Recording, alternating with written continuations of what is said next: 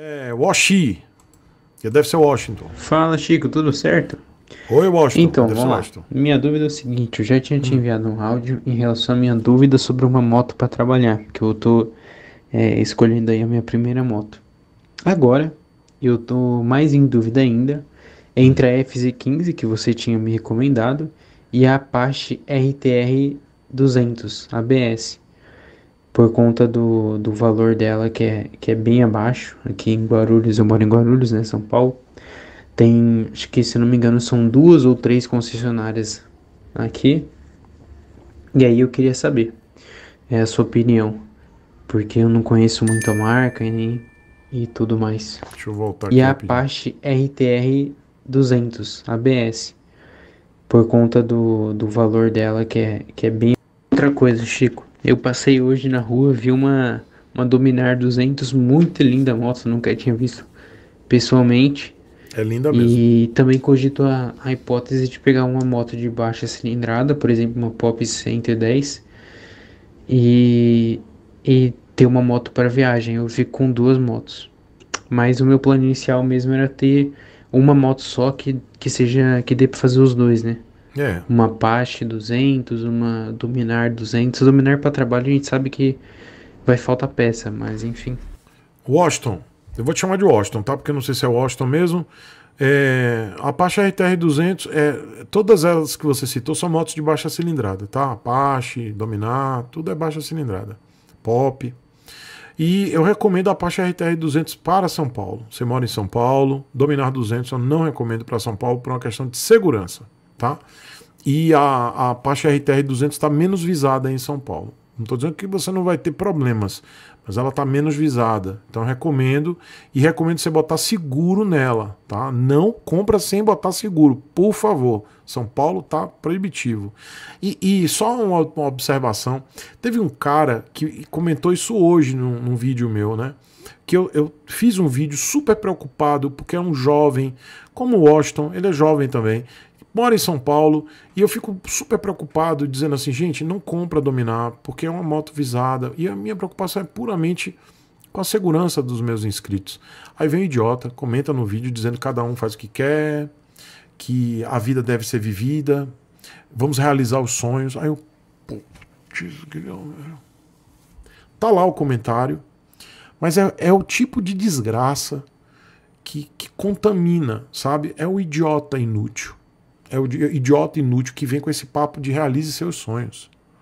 Eu estou falando de segurança, eu estou falando de vida, de preservar a vida e, e das pessoas não se colocarem em risco, porque é risco.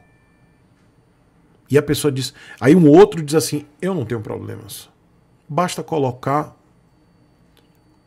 uma trava de roda. Não tem problema. Rodar em São Paulo, eu sou de São Paulo, basta botar uma trava de roda. Aí eu, digo, é, aí eu escrevi lá. Eu não lembro nem se eu escrevi, eu, eu, eu botei. É, então, e aí faz o que quando o cara aparecer com um cano, um ferro na sua frente? Faz o quê? Então você vê que as pessoas são loucas, velho. Eu tô, eu tô falando português claro, e o meu português é claro. Eu falo todos os R's e S's. É, se eu quisesse falar bem baianês mesmo, que baianês a gente come, né? A gente come RS, fala falando, andando.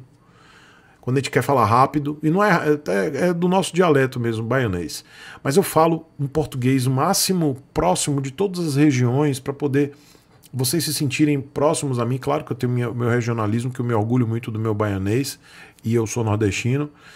Mas eu tento falar para todo mundo de forma muito clara, para todo mundo entender. E mas não adianta. Sempre vai ter um, um grupo de estúpidos querendo iludi-los nos, nos comentários, né? Realize seus sonhos. Que nada. São Paulo, tá tudo certo, pode ter sim. A minha eu boto uma trava de roda, tá tudo certo. Oh, meu Deus. Então, galera de São Paulo, meu amigo, irmão Ricardo, que é um, um cara de 50 anos de idade, tem mais de 30 anos de mo- ma- muito mais de 30 anos de motociclismo. Ele tem condição de ter a moto que ele quiser. Pensa aí numa moto, ele pode ter a moto que ele quiser. Pode pensar, pensa aí na, pensou na moto, ele pode ter. Mas ele não compra. Por quê? Porque ele é paulistano, nascido e criado em São Paulo. Nato. Nascido e criado em São Paulo. E uma das coisas que ele vivia me falando, poxa, meu irmão, como eu queria ter uma Vestron dessa igualzinha a sua. Era só ele instalar o dedo, a moto tava lá na mão dele. Mas ele não pode, porque ele sabe. E ele fala há anos. E aí vem o infeliz dele. Porque geralmente, não tô falando que é o Washington, não, tá? Falando. E geralmente, quando você vê as fotos, é tudo jovem, ou então tem coisa, alguma coisa de anime, né? Aí, pô, por mais que a galera de anime, eu gosto da galera de anime, tá? Mas geralmente é, é, é uma galera mais jovem, né? Ou é, ou é, foto de anime, ou é foto do cara com o celular assim na frente do, do, do espelho. Aí eu, putz. Aí o cara escreve uma dessa, entendeu? Aí eu, pô, velho, você vê que o cara não tem nenhum. Primeiro, que ele não entendeu o meu ponto, que foi segurança, preocupação, porque eu sou pai, tio, eu me preocupo mesmo. Eu fico com medo das pessoas comprarem porque eu estou indicando e essas pessoas sofrerem algum atentado, alguma situação. E as pessoas não são empáticas. Elas não entendem. Primeiro, que não querem saber a mensagem do vídeo, de dizer se preserve. Não, a vida é curta, sonhos devem ser realizados. Com a, basta ter uma travinha de roda. Tá tudo certo. Mas na hora de eu indicar para um jovem desse uma Dominar 200 que tá perigoso. Rick vendeu a dele, galera. Rick vendeu a dele. Você acha que Rick vendeu porque ele simplesmente ele não gosta da moto? Não, ele vendeu porque ele viu. Tem, ele tem os objetivos do canal dele, mas ele, ele sabe que é perigoso. Ele não fica dando bobeira em São Paulo, não. Com a Dominar 200. E aí eu vou ficar indicando para as pessoas de São Paulo.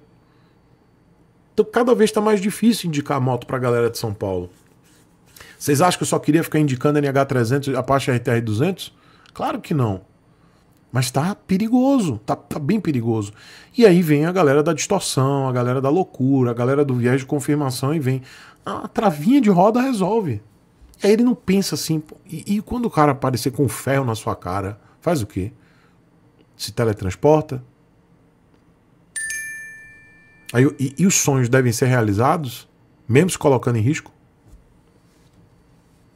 Eu, ó, e, e, é tudo jovem, velho. Tudo, tudo a galera menos 30. Aí eu fico, pô, velho, esses caboclos daqui a 10 anos, 20 anos, esses, esses meros imbecis inúteis, eles vão estar tá dirigindo esse. Aí eu, eu, eu não sei o que, é que eu vou. Não sei não, velho. Não sei mesmo como é que vai ser esse país, não. Porque é um bando de, de, de idiotas. Tamo ferrado, viu? A galera mais velha aí da minha idade, tamo lascado, viu? Se segura, porque essa galera vai estar. Tá, daqui a 20 anos, esses caboquinhos vão estar tá tudo dirigindo o país, velho. Tamo fudido.